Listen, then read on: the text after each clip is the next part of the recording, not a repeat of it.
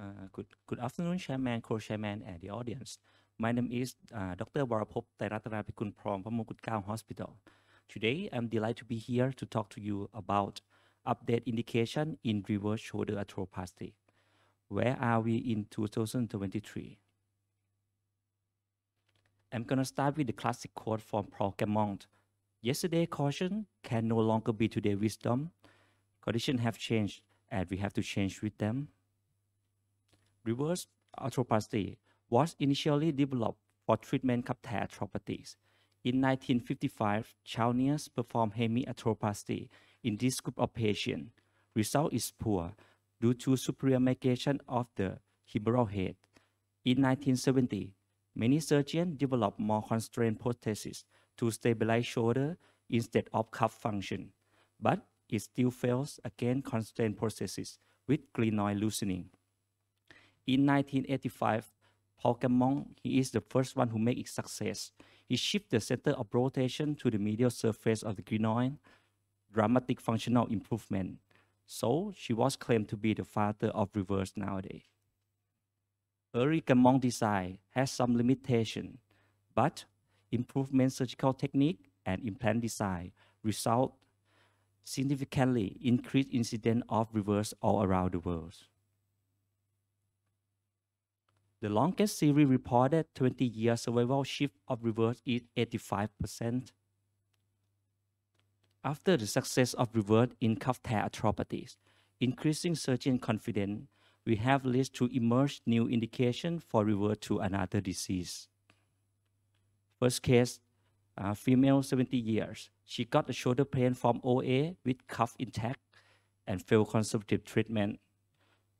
Which one you choose, total or reverse? Total arthroplasty is the gold standard for surgical treatment in shoulder arthritis.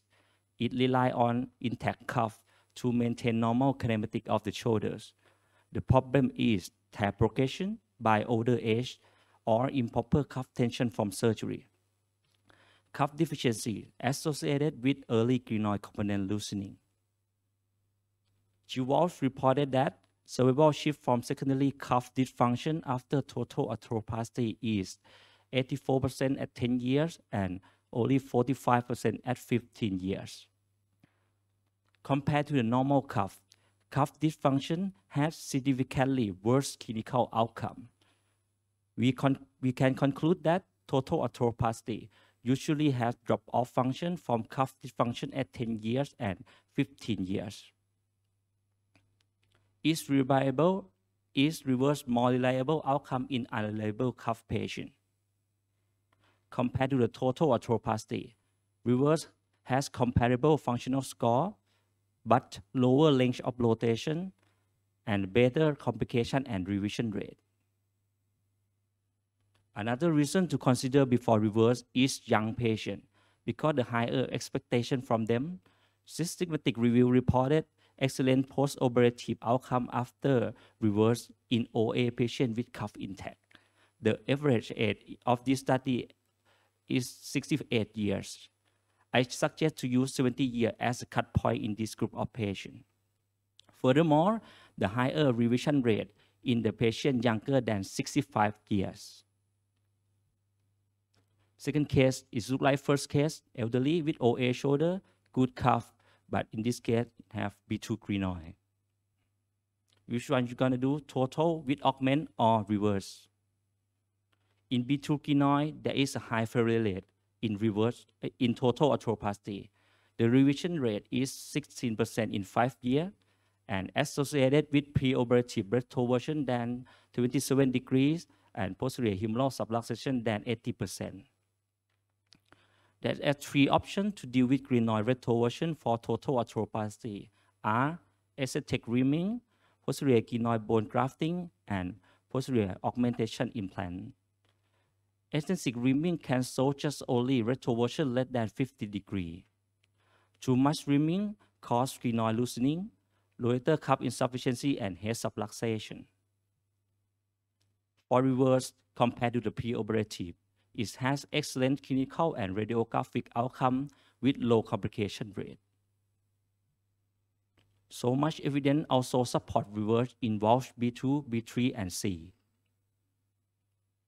The ideal candidate for reverse are preoperative retroversion than 27 degrees, humeral head subluxation than 80%. The advantage of reverse is inherent stability from semi-constrained design, stronger fixation by screw of the glenoid base plate, and broad grafting augmentation in bio-RSA. Third case, female 56 years, secondary OA from rheumatoid with failed conservative treatment. For rheumatoid, it usually has cuff deficiency from chronic synovitis and poor glenoid bone stock, younger age. Systematic review reported long-term outcome after total arthroplasty in rheumatoid. Cuff dysfunction is 57% at 10 year and 100% in 20 year of follow-up. And it have drop-off function at 10 year from cuff deficiencies. Reverse solving problem from poor cuff and poor bone stock. The study reported 96% implant survival in 7 year of follow-up and very low complication rate and show improvement of ASES and constant score, but external rotate is still less than usual total arthroplasty. So good candidate, good candidate for OA patient to implement reverse R, OA with cuff tear, OA with intact cuff in elderly than 70 years, B2 glenoid and severe retroversion than 27%, and secondary OA from rheumatoid. On patient under 65 years should be used with caution. Fourth case, 72 male show cuff tear, year 4, and no obvious OA. And he unable to lift his right arm. There are many options for treatment irreparable cuff tear without OA. Repair or reconstruction may have uncertain healing and prolonged immobilization time. So this is why reverse become the option in this group of patients. Level 2 and 3 systematic review have reported high functional score and range of motion gain after reverse. They report be caution in patient who had good preoperative active forward elevate than 90 degree, who is risk for loss of forward elevate and lower satisfaction after surgeries. The ideal candidate for reverse are older than 65 years, AHI less than 5 millimeter, fatty infiltration, pseudoparalysis, and failed arthroscopic cuff repair. Caution in the patient less than 60 years. Rate of survival free is quite low, 82% in 5 years and only 74% at 10 years. And caution in functional intact shoulder is risk for loss forward elevate and low satisfaction after surgery. Moving on to the fractures. 67 years, got fracture like this. Which one you gonna do? Fix it or replace with reverse. Does the number of parts affect the outcome of fixation? Yes, it does. Many studies reported more part of fracture associated with decrease in constant score, especially in the older patient who had poor bone quality, previous OA, and uh, RC syndrome. The multi-center RCT show reverse are the better constant score and Oxford score and lower revision rate than locking plate. And we can conclude that advantage of the reverse over the locking plate in treatment of this plate 3 and 4 part fracture in elderly patient. Fracture dislocation, which is associated with high risk of avascular necrosis follow fixation. Compared to the fixation, reverse had a better constant score, lower complication, and revision rate. Which aid that could benefit for reverse in 3 and 4 part fracture.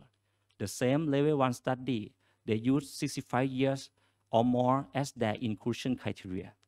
I suggest to use 65 years or as a cut point. Mm. Candidates for reverse in acute fracture are patients older than 65 years with displaced 3 and 4 part fracture, has split fracture dislocation, and previous OA and RC syndrome. 72 female, she got the tuberosity malunion. What were you gonna do with this patient?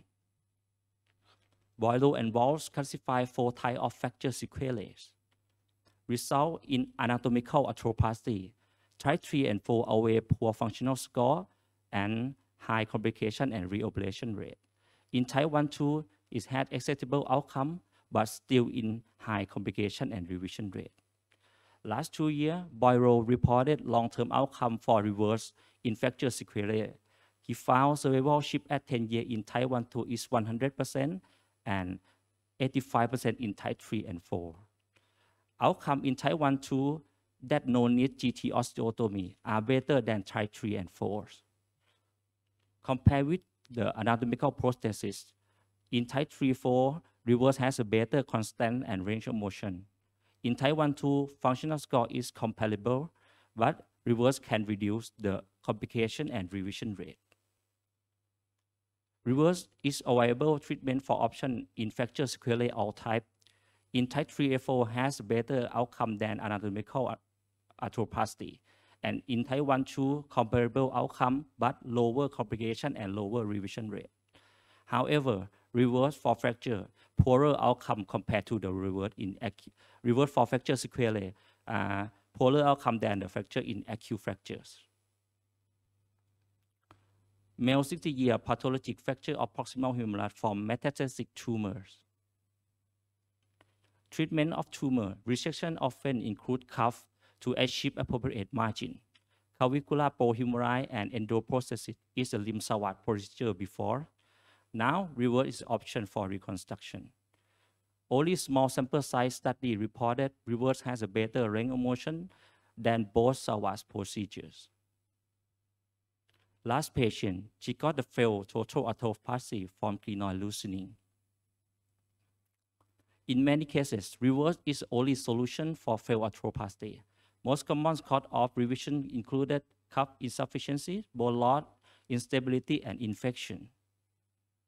Compared with the primary, reverse has only ASES score is comparable, but more complication and lower satisfaction. Remember, first shot is the best shot.